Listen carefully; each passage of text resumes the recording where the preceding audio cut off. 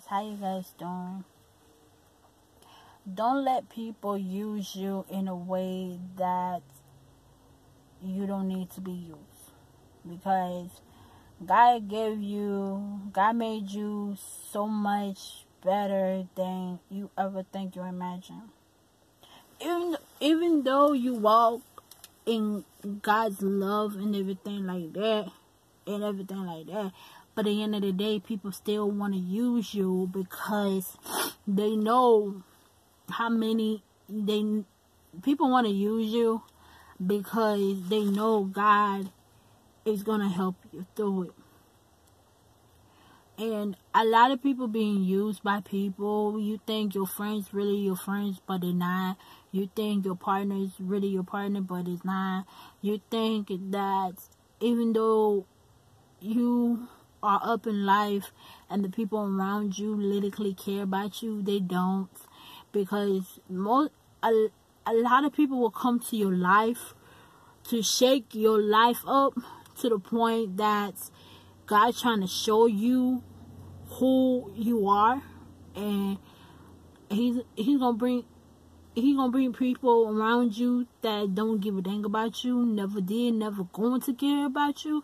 But in but the end of the day, it is how you respond to foolishness. How it's it's to the point that how you respond to people negativity. I understand a lot of pe- a lot of us who walks in God's love and God's pa- passion and pa- um path we get used all the time by people.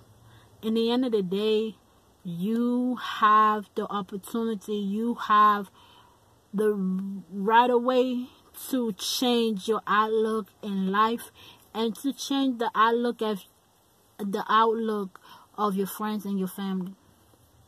Don't let people negatively to stop you by doing everything that you that God Himself set you to be.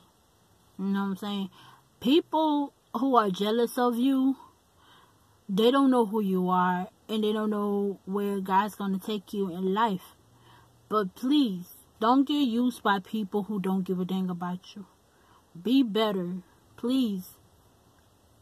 Let let God let let God take care of the people who don't give a dang about you.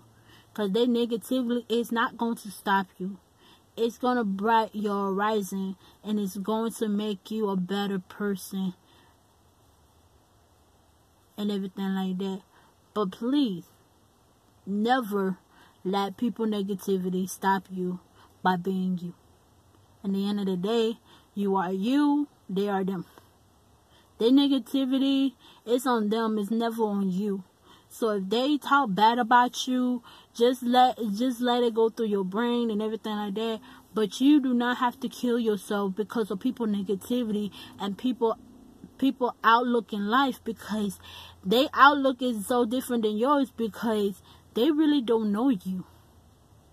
But you know you. You know yourself. So as long you know yourself, people negativity will not stop you by being you